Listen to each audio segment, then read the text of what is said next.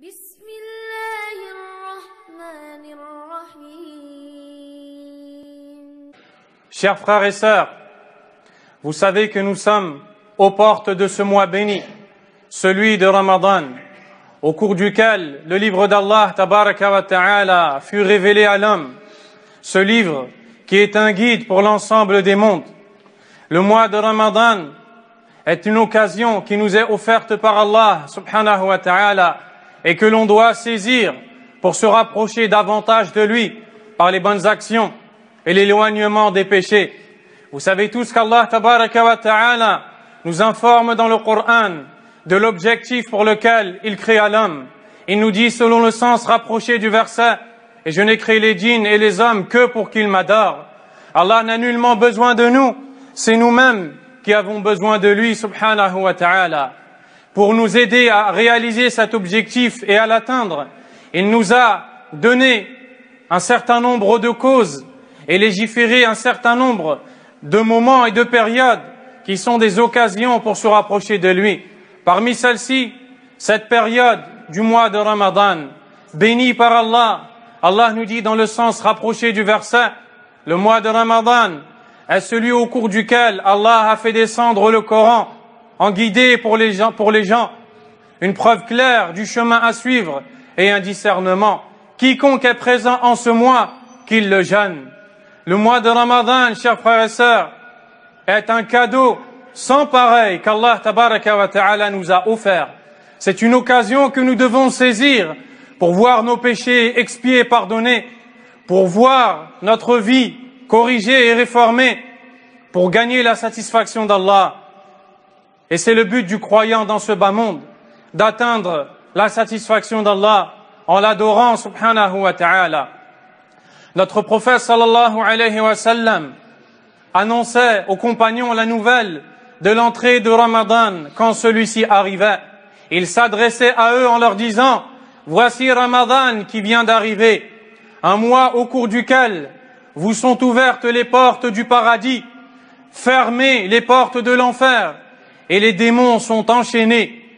Il incite donc ses compagnons, et nous autres les croyants après lui, à profiter de ce mois, puisque les démons sont enchaînés, les portes du paradis ouvertes, celles de l'enfer refermées, afin que nous profitions de cette occasion et que nous connaissions sa grandeur et son importance chez Allah subhanahu wa ta'ala. Ainsi le croyant doit se poser cette question qui est la suivante. Comment me préparer à l'arrivée de Ramadan? Comment tirer profit de ce mois béni qui est celui de Ramadan? Avec quelques points, nous répondrons à cette question de façon concise et claire si Allah nous l'accorde. Premièrement, sans le moindre doute, la première chose qui nous permet de se préparer pour toute adoration, particulièrement celle du jeûne de Ramadan et de cette période, le fait de renouveler l'intention et de jeûner que pour Allah subhanahu wa ta'ala. Lorsque on jeûne, on ne jeûne pas par coutume, on ne jeûne pas par peur du regard de l'autre, on ne jeûne pas à la recherche des éloges d'autrui, mais plutôt on jeûne car c'est notre Seigneur qui nous l'a légiféré subhanahu wa ta'ala à la recherche de sa satisfaction, son acceptation et son agrément subhanahu wa ta'ala. En ce sens, le prophète sallallahu alayhi wa dit pas un serviteur ne jeûne un seul jour dans la voie d'Allah, c'est-à-dire sincèrement pour Allah, sans qu'Allah n'éloigne son visage de l'enfer d'une distance égale à 70 années de marche. Un seul jour de jeûne que tu effectues pour Allah et à la recherche de sa satisfaction te donnera comme récompense qu'Allah t'éloignera de l'enfer d'une distance égale à 70 années de marche. Subhanahu wa ta'ala. La sincérité dans les actions est la base de l'acceptation de ces dernières. Allah tabaraka wa ta'ala nous dit, selon le sens rapproché du verset, et cependant, il ne leur a été ordonné que de n'adorer Allah sincèrement en lui vouant exclusivement le culte, puis d'accomplir la prière, s'acquitter de l'aumône, et voici la religion de droiture. Voyez bien qu'Allah tabaraka wa ta'ala a cité la sincérité dans le culte avant même d'avoir cité la prière et l'acquittement de l'aumône, car la sincérité est la condition qui va valider l'acceptation de cette prière et de cette aumône. Il en est demain pour ce jeune qu'Allah a légiféré, subhanahu wa ta'ala. Deuxièmement, le repentir à Allah. Tout individu doué de raison, tout croyant qui aime Allah et son prophète sallallahu alayhi wa sallam, qui, par la permission d'Allah, arrive aux portes de Ramadan, doit saisir cette occasion pour demander à Allah le pardon, pour cesser les péchés, s'éloigner de la désobéissance, réformer son être, implorer le pardon d'Allah, regretter le mal commis auparavant. Notre prophète sallallahu alayhi wa sallam nous dit, tous les fils d'Adam sont fauteurs, mais les meilleurs fauteurs sont les repentants. Nous sommes, en tant qu'humains, sujets à l'erreur et à la faute, au manquement et au péché. Personne n'est épargné de cela. Mais le meilleur d'entre nous est celui qui demande pardon à Allah, qui sait se réformer. Et certes, le mois de Ramadan est une occasion bénie, une porte ouverte pour venir se repentir à Allah. La religion d'Allah, tout entière est une religion de repentir. Car le repentir, en réalité, signifie le retour à Allah par les bonnes actions et le délaissement de l'interdit. Il nous dit, selon le sens rapproché du verset, et repentez-vous tous à Allah, ô vous les croyants, ainsi vous réussirez. Allah a dans ce verset rattaché la réussite au repentir. Il n'y aura donc aucune réussite si ce n'est après le repentir à Allah, celui qui nous a créés, celui qui nous a donné tous les biens desquels nous jouissons, celui qui nous a offert la santé, la vie, les enfants, et qui nous a fait ses dons, subhanahu wa ta'ala, nous devons se repentir à lui et saisir cette occasion du mois de Ramadan. Car si personne ne se repentit, si une personne ne se repent pas pendant Ramadan, quand va-t-elle se, quand, cette personne va-t-elle se repentir? Une porte qui t'est ouverte par Allah et tu n'y entres pas. Quand est-ce que tu vas revenir à Allah? Subhanahu wa ta'ala? Celui qui ne profite pas de Ramadan pour implorer le pardon d'Allah, regretter ses fautes, réformer son être, sans aucun doute, est dépourvu de bénédiction et est privé de la guidée d'Allah, subhanahu wa ta'ala. Troisièmement, pour se préparer à entrer dans le mois de Ramadan, s'excuser les uns les autres.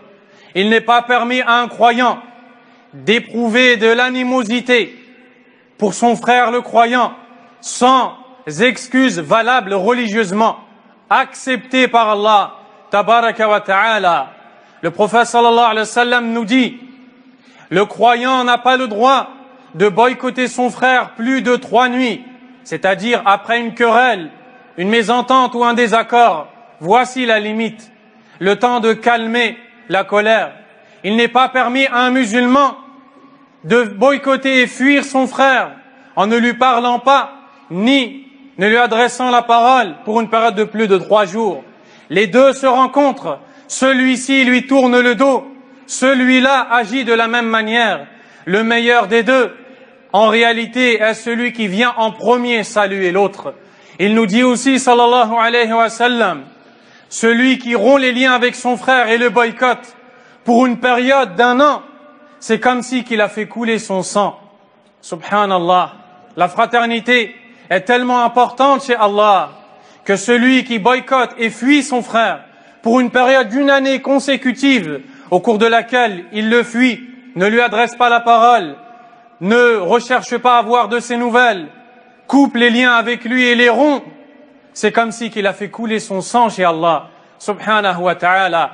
Lorsque Abdullah ibn Mas'ud, un des plus grands compagnons du prophète sallallahu alayhi wa sallam, et un des plus grands savants, fut interrogé par un homme qui lui demanda Comment vous autres les compagnons accueillez-vous le mois de Ramadan?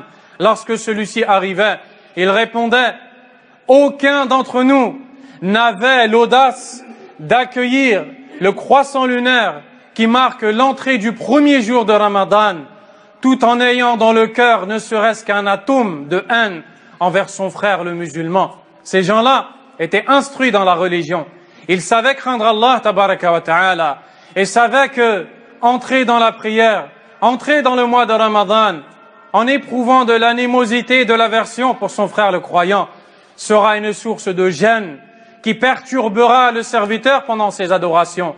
Et il est triste de voir et de constater que certains frères ou certaines sœurs dans la foi, pris côte à côte, ils effectuent la même prière, les épaules collées, les pieds collés, ils invoquent Allah ensemble, lèvent leurs mains et disent Amin lorsque l'imam sollicite Allah par des invocations, alors qu'en réalité, l'un d'entre eux déteste l'autre.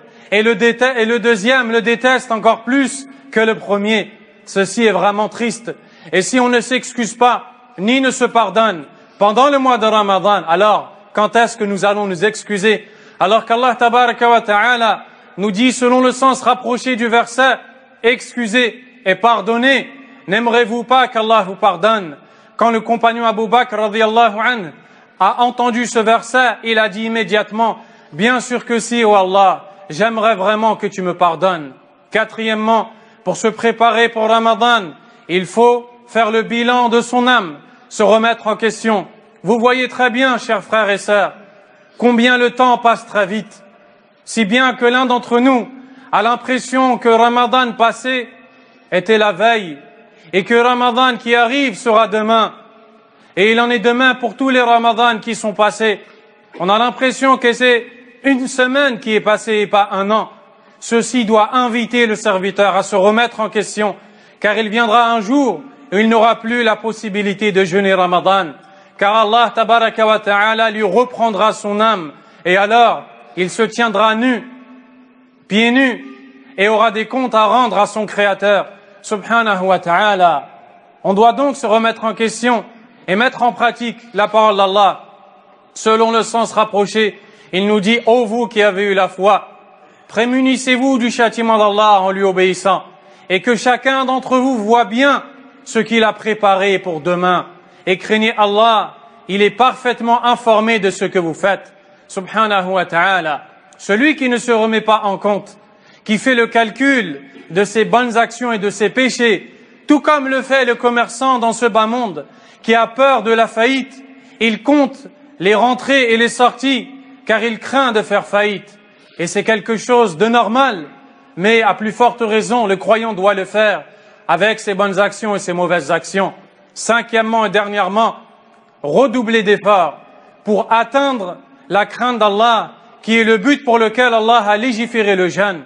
Dans le sens rapproché du verset, Allah nous dit, ô vous qui avez eu la foi, le jeûne vous a été prescrit, comme il a été prescrit à ceux qui vous ont précédés, ainsi atteindrez-vous la piété. Allah nous a donc prescrit le jeûne pour nous aider à atteindre la piété. On doit donc redoubler d'efforts et s'efforcer à atteindre cette piété qui fut la cause de la révélation du jeûne. Parmi ce qui nous est demandé comme piété durant le jeûne, ce que nous dit le prophète sallallahu alayhi wa sallam, quand l'un d'entre vous arrive au matin en état de jeûne, qu'il ne se conduise pas comme le font les ignorants, c'est-à-dire qu'il n'ait pas de mauvais comportement, qu'il ne prononce pas de mauvaises paroles. Si un individu le provoque en l'insultant ou en le combattant, qu'il lui dise je suis jeûneur, je suis jeûneur, c'est-à-dire qu'il ne réponde pas aux provocations, mais qu'il fasse preuve d'endurance à la recherche de l'agrément d'Allah. Car le but du jeûne est aussi d'éduquer l'âme à l'endurance et de l'aider à acquérir la patience. Le prophète nous dit aussi, sallallahu alayhi wa sallam, celui qui ne délaisse pas le mensonge et les péchés, alors qu'il est en état de jeûne, Allah n'a nul besoin qu'il délaisse sa nourriture et sa boisson. On voit bien que le jeûne n'est pas simplement le fait de s'abstenir de manger et de boire, c'est aussi le fait de s'abstenir de tout ce qui provoque la colère d'Allah, tabaraka wa ta'ala. Aussi le serviteur doit s'instruire dans les règles relatives au jeûne. Quelles sont les règles du jeûne? Qu'est-ce qui valide et invalide le jeûne? Quelles sont les conditions d'acceptation du jeûne? Toutes ces choses-là, le serviteur doit les connaître. نسأل الله تبارك وتعالى بأسمائه الحسنى وصفاته العلى أن يبلغنا رمضان في صحة وإيمان ويوفقنا للاستعداد لاستقباله أتم استقبال واستعداد. اللهم بلغنا رمضان في صحة وإيمان اللهم اشرح صدورنا واشف قلوبنا. اللهم وفقنا لصيامه وقيامه والإكثار من الأعمال الصالحة المقربة إليك. إنك على كل شيء قدير. وفقنا إلى ما يرضيك عنا. اللهم فقهنا في الدين. اللهم فقهنا في الدين. اللهم باعد بيننا وبين خطايانا كما باعدت بين المشرق والمغرب. اللهم نقنا من ذنوبنا كما ينقى الثوب الأبيض من الدنس. ربنا آتنا في الدنيا